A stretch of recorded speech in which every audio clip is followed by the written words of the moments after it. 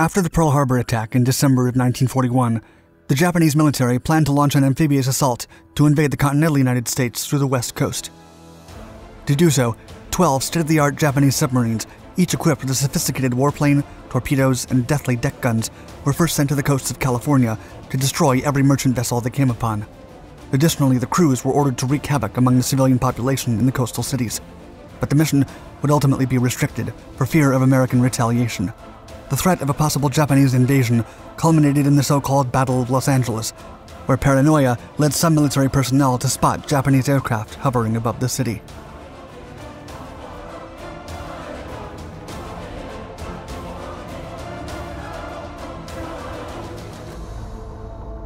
A new target.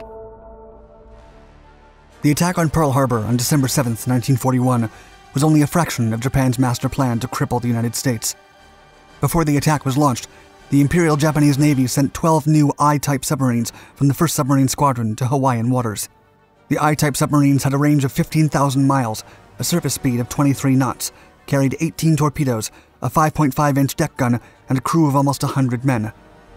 They were over 355 feet long and could also house a dismantled warplane that could be launched from the submarine's deck. These colossal and potent submarines snuck past the American patrols in the Pacific and reached the shores of Pearl Harbor before the Japanese Air Force attacked. When no U.S. Navy vessels showed up after the surprise attack, the submarines were ordered to hunt down an American aircraft carrier headed to the mainland and establish positions in strategic points along the west coast. Their main objective was to attack any American merchant vessels that crossed their path.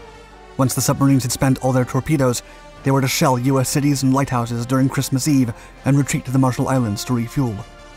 If the operation was successful, the submarines would become the tip of the spear for a possible amphibious invasion of the continental U.S. Like silent hunters, the crew of the submarines patiently waited for their targets.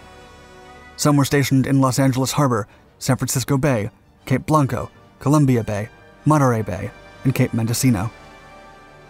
While a Japanese task force set up a forward base in the Aleutian Islands to attack Anchorage and all of Alaska, submarine I 17, under orders of Kozo Nishino, spotted the freighter Samoa heading for San Diego on December 18th.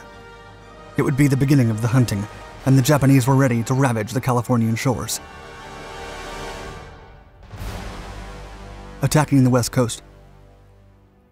The Japanese submarine crews were instructed to launch only one torpedo per merchant ship.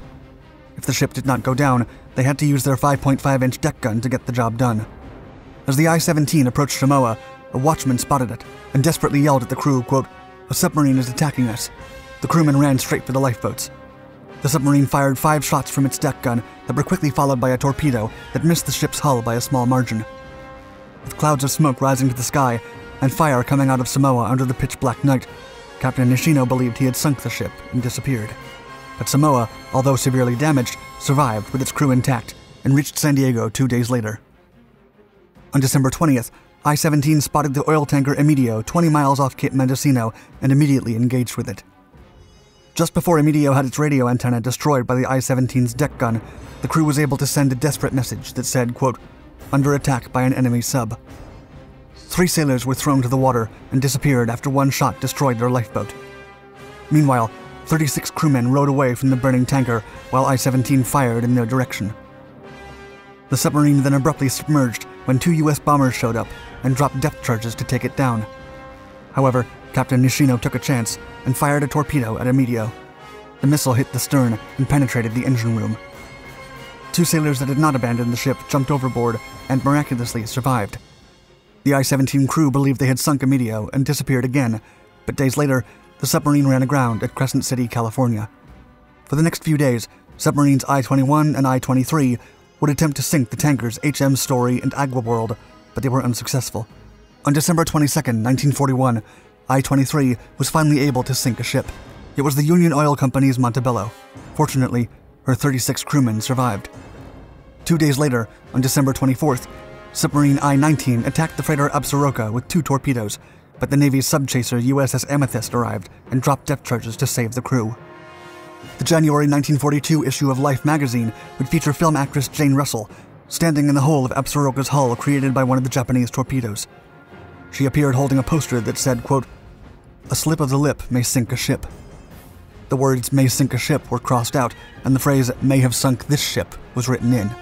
Back in the Pacific waters, the Japanese submarines were running out of torpedoes after a week long operation with middling results, so they began preparing to fire their deck guns against mainland targets on December 25th. However, just before the attack commenced, Japan's combined fleet radioed the submarines and canceled the operation because they feared severe American retaliation. Battle of Los Angeles. The 12 Japanese submarines returned to friendly waters for resupply after the December attacks, and some of them returned to U.S. waters in February of 1942. The paranoia of a Japanese invasion among the American population was at an all time high.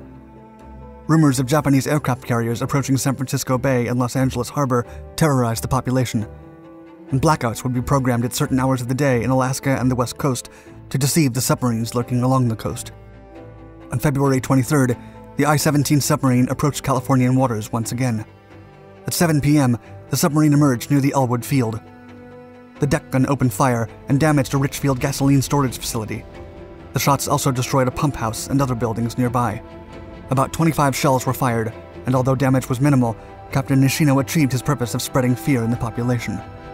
Witnesses told the police that they saw the enemy submarine heading for Los Angeles, and they were not wrong. Japanese forces did show up the next day, but not in the way they were expected. On February 24th, the Office of Naval Intelligence, or ONI, issued a warning that a mainland attack on California was expected in the following hours. Paranoia went rampant, and thousands of citizens fled inland. A blackout was ordered, and several car crashes occurred as people raced in the streets with their lights off. Even air raid sirens went off at 2:25 a.m. After reports of enemy aircraft sightings, the military was summoned and members of the Coast Artillery Brigade began firing 50 caliber machine guns and anti-aircraft shells into the air. Over 1,400 shells were fired, but no enemy aircraft were spotted. The blackout was then lifted at 7:21 a.m., and Secretary of the Navy Frank Knox said in a press conference that the alleged attack was a false alarm provoked by paranoia. Five civilians lost their lives as an indirect result from the anti-aircraft fire, and Japan achieved its purpose of perpetuating fear and launching a psychological warfare campaign. The attacks on California would also serve to justify President Franklin D. Roosevelt's controversial internment of Japanese Americans in the U.S. Still, the Japanese government always maintained that they had flown no aircraft over California during the war. It wasn't until 1983 that the U.S. Office of Air Force History officially concluded that the cause of the initial alarm and unexplained sightings had not been an incoming Japanese attack, but that the evidence pointed towards another unlikely source meteorological balloons.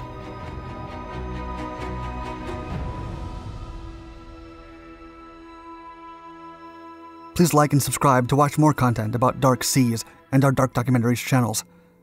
And let us know in the comments below what you think of the little known Japanese submarine attacks on American soil.